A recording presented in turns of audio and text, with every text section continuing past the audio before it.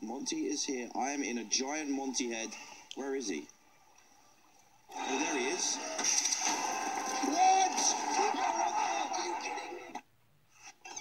Okay, someone tell me how on earth he just did that. Was that real? Was that supposed to happen? what kind of sick joke is that? Oh, he's in the tongue. That can't be real. He wasn't supposed to fly at me like that, was he? I think he's stuck now. I'm taking full advantage of this. He's stuck.